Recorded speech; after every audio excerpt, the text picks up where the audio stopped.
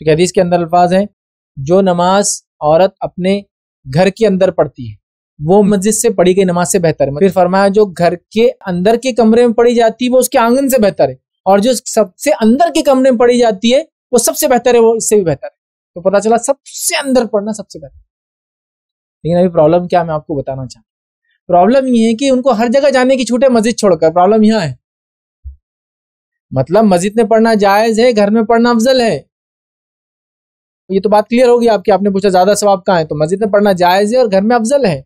लेकिन मसला ये कि मस्जिद में जाने से जो यूनिटी स्ट्रेंथ जुमा के खुदबे कौम की हालात, मामला, समाज में क्या चल रहा है इज्तमाहीत और दीनी कामों में सबकत ले जाने के जज्बे आते हैं, वो घर में नहीं आते हैं ना?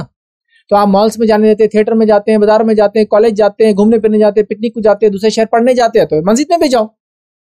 लेकिन आपने जहाँ तक अफजल का बोला तो घर में लेकिन मस्जिद इसलिए जाओ कि उसके दीगर बहुत ज़्यादा फवायद हैं, जो मस्जिद जाके ही आपको हासिल होंगे, घरों में वो फवायद आपको हासिल नहीं होंगे खास तौर से कौम, उम्मत और मिलत के लिए जो हमको सोच रखना है, वो वहीं हासिल होंगे, अलग से नहीं हासिल होंगे याद रखिए।